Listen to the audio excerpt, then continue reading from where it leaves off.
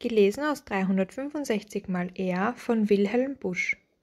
22. Mai.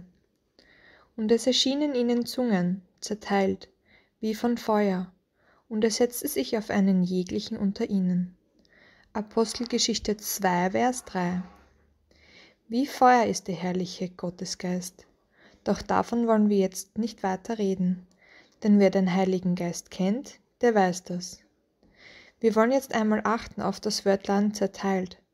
Es ist ein einziges Feuer, aber jeder der Jünger hat seine besondere Feuerzunge. Es ist zwar nur ein Geist, die dritte Person der Dreieinigkeit, aber dieser eine Geist hat in jedem sein besonderes Werk. Als junger Mann saß ich einst in einem Kreise alter, erfahrener Jesusjünger. Sie erzählten, wie Gottes Geist sie erweckt hatte.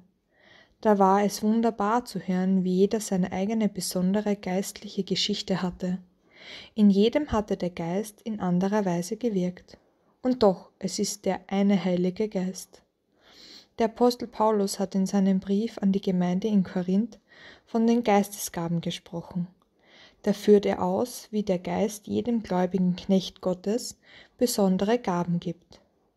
Der eine kann dann Zeugnis ablegen, der andere Geister unterscheiden und der dritte Seelsorge treiben.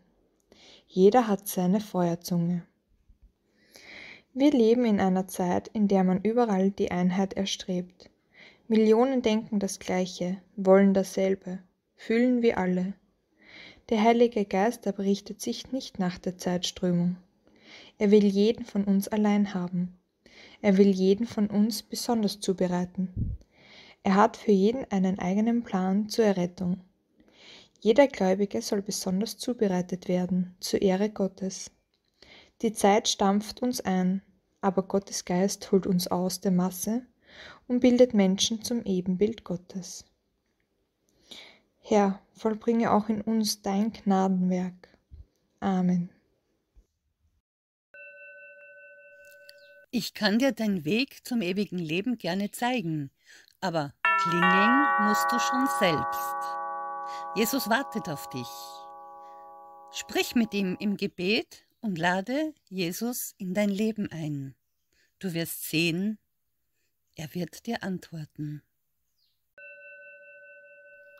Herzlichen Dank für dein Abo, deinen Daumen hoch und deinen Kommentar. Teile gerne meine Videos, somit erfahren mehr Menschen von Gott. Weitere Informationen findest du in der Infobox unterhalb vom Video. Jesus Christus segne dich.